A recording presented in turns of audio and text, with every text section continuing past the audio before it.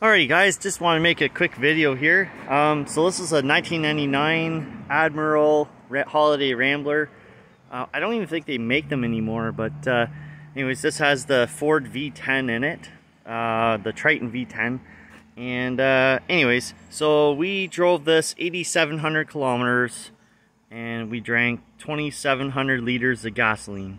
So that's an average of 7.4 miles to the gallon we got the, with this big girl anyways, we got back and we had some issues that we had to fix along the way, as you obviously saw. Anyways, we're just kind of addressing those and whatnot. Um, so yeah, it's been uh, interesting uh, trying to figure out some of the stuff and uh, we're just kind of going through it. Uh, so when we got this, there was some flaking that was on the uh, frame. So a lot of the black paint that was original to, uh, you know, that was sticking on the frame was kind of peeling and whatnot. So what we did was we grinded that all down and uh, we used that Worth uh, anti-rust paint uh, you know that you slather on there.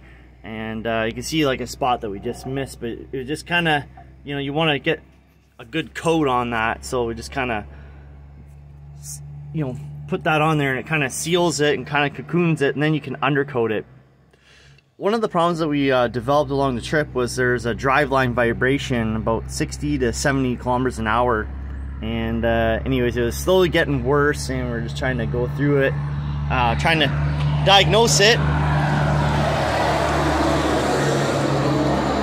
You'll see the big mess underneath the underneath here. We knocked off a whole bunch of rust and then we kind of just went to town uh, painting up the frame. So what a big difference that was. But uh, anyways, what we got going on now is the tailstock uh, is off because I think we found the issue. It has a new joint in the front there, and it also has uh, a hanger bearing that was getting a little bit tiny warm compared to the rest of everything else.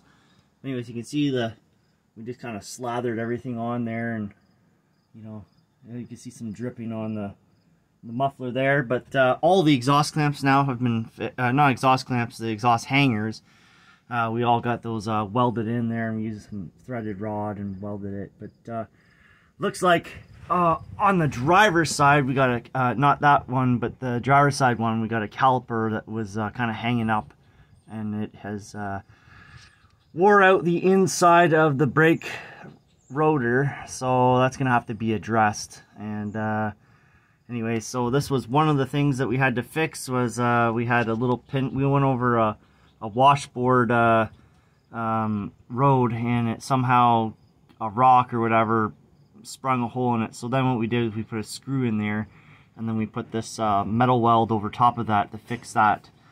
So we fix, fixed the exhaust, we fixed up the leak. The FM radio was very weak and at first it was working, then it decided not to work. So we addressed that by putting a whole nother radio in it uh, and it uh, and we also had to address the antenna. Now we're trying to figure out the CB, but we're gonna need one of those uh, joiners to to add a, a, a different antenna. So there's uh, two two uh, holes up there. There's one for the CB radio and one for the uh, FM radio, and uh, they're both very poor shape.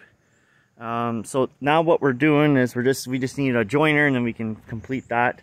We replaced the windshield wiper. That one was uh, wore out. Um, I think this thing uh, was a little low on oil, so we topped that up. But uh, here's uh, here's the meat and potatoes here. Oh, business has been nuts. This has got to go to New York City.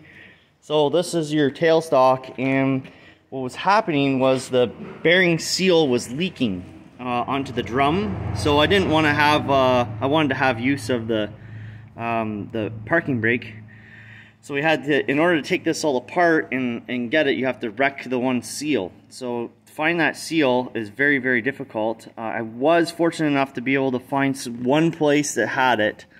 Um, so anyways, we had this all apart and then I put it back together and then there's like a, a lock nut that keeps this from loosening off and my, uh, I guess my one tack or one weld let go and uh, I think that's because of the shock of one of the the Manitoba and Saskatchewan uh, roads broke the pads off in the drum, stopped or put a, bit, a big drag on the drum all of a sudden, and it was enough to knock loose that nut. It, it gave it enough of a shock to the system that now I think it has uh, wrecked the bearing. So I'm going to get this tailstock rebuilt, new bearings, new seals, new uh, brakes, and then it'll be good to go. They're extremely uh, expensive from the dealer. They want to sell you the whole kit and caboodle here. I think to the tune of uh, $3,000 or something like that. But uh, I think you can see uh, online there's four or 500 US rebuild kit. Um, so I think that's what we're going to do. But yeah, like you can see that was right where the I was right what uh, what was going on with the vibration uh, issue. So uh, unfortunately, uh, I goofed up that and it didn't hold. Um, we didn't have enough times enough time to put on brand new pad or shoes, I should say. So this time we're going to take the time and uh, however long it is out of commission is however long it's out of commission, but uh, we're going to be able to get this up and going again and fix this right. So I think uh, I think we found out what the issue was now, and now we just got to get it rebuilt and then go from there. This time I'm going to leave it to the professional to rebuild this thing because um, I don't have a gauge for the preload on it. Uh, I just kind of went by feel, and then uh, I don't have the lock washer to keep that from loosening off again. So we'll get that rebuilt, put it back on, and then here we go.